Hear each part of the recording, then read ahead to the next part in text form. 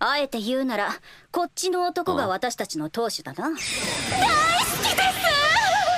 す。え力強ってでもなくてえっと包み込むような優しくもうなくて悪そうだけど。知性的な瞳。私一目見た時からあなたのことが。ああ分かった分かった。で宝箱どこだ？雑だなどっちもこのこの私の無敵の攻撃があるそんなことって。こんなにも可愛いのに。千空ちゃんにその手の攻撃はリームーよ。文明復活まで。俺には今すぐ聞くけどね。あ今思い出しちゃった。当主様俺だった。